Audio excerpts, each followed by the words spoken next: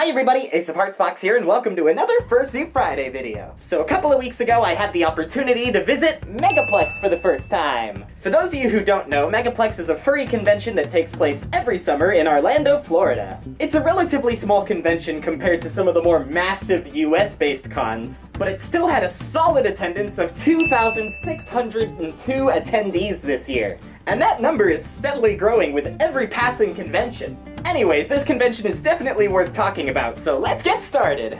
On a personal note, the trip itself was a lot of fun because Clocky's dad actually lives in Florida. So it was really nice to be able to visit him while we were in town. Actually, we ended up going to Epcot at the end of the weekend with some friends, so it was kind of nice to be able to have some little detours in addition to our full weekend at the convention. Speaking of which, overall, Megaplex was an incredibly well-run operation, especially for a smaller con. The first thing that we noticed when we got there was that our registration to pick up our badges took very little time. I know that's a relatively common issue with a lot of conventions with long registration lines, so it was really cool to kind of just see that operational status off the bat. At first we thought that our short registration time was a result of us showing up later on Friday of the con, but when we went to the closing ceremonies, they actually asked people about how long their registration took. And by a show of hands, very few people had to wait more than 10 to 20 minutes to pick up their con badges. Small bits of efficiency like this are not only really nice because we won't get bored standing around in a line, but this also means that the attendees can spend more time going to events and panels. So a huge plus in that area, Megaplex.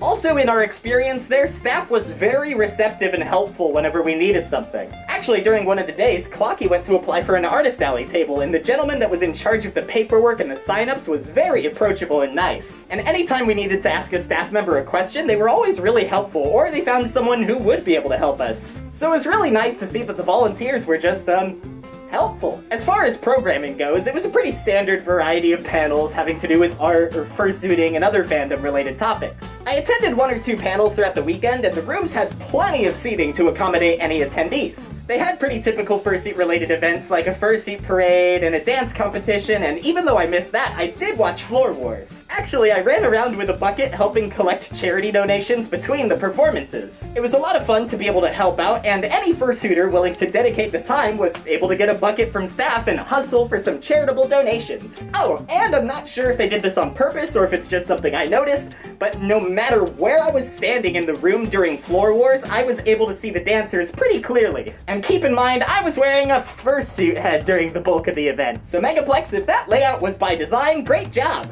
If not, then, well, just keep doing what you're doing. Speaking of the layout, the venue this year for Megaplex was gorgeous. It was also just really cool to be in a resort-style hotel with a bunch of furries, because it literally just felt like a resort vacation with a bunch of furries. The pool area was actually one of the bigger ones that I've seen in most convention hotels. So it was kind of cool to see people out there with all their pool toys and whatnot, and it didn't feel disruptive to the other guests. Something about the convention layout felt spread out enough to where it didn't feel crammed, but it was also close together enough to where it kind of felt like it wasn't an inconvenience if I forgot something in my room. But I have to say that the one major drawback of this venue is how much time I spent outside while traveling from my hotel room to the main convention space.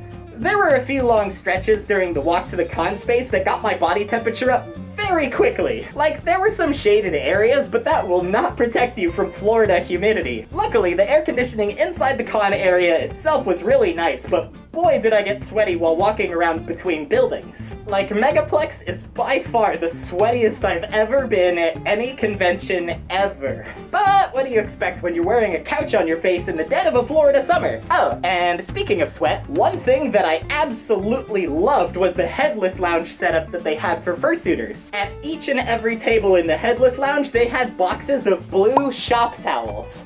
These were so useful for getting sweat off of my face and off the inside of my fursuit between cooldown sessions. It's small touches like that that show they really went the extra mile with the Headless Lounge. And I would love to see more conventions adopt a similar setup. And actually, Megaplex is moving to a new venue next year, and oh my god, look how gorgeous this is!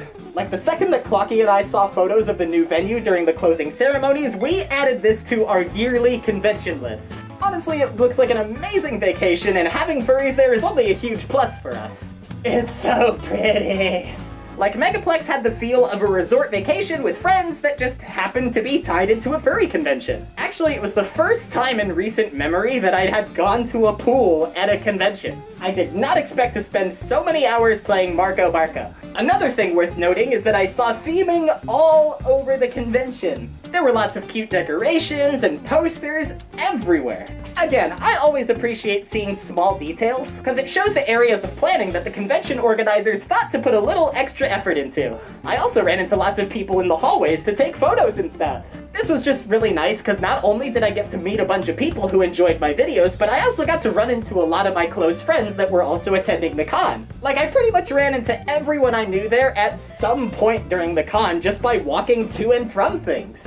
Speaking of friends I ran into at the convention, my pals Yargan and Syan trekked all the way down to Orlando to hang out with me for one of the days, which was a really nice surprise. If you guys are both watching this, I miss you both already, and I can't tell you how much having you around made my weekend extra special.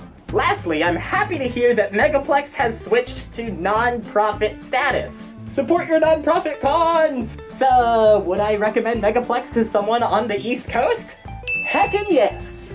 I feel like if you're new to furry conventions and want to try one out, Megaplex is a great choice. On top of having a pretty solid operation, I think it's big enough to feel like a larger convention without being as crowded or potentially overwhelming as some of the more massive US-based cons. I had an amazing first experience and I'm sure it won't be my last. So thanks a bunch for watching this week's Fursuit Friday video, everybody. I hope you enjoyed it. What is something that you look for at a convention that always gives you a good first impression? I'd love to hear about it in the comments down below. I do read every single comment and I try to reply to as many as possible. And if you really like this video, go ahead and hit like and subscribe for new videos every week. Also, if you'd like to directly support the content that I make on this channel, my merch store and Patreon links are in the description box below. And speaking of patrons, I want to thank these lovely Patreon supporters for producing today's video.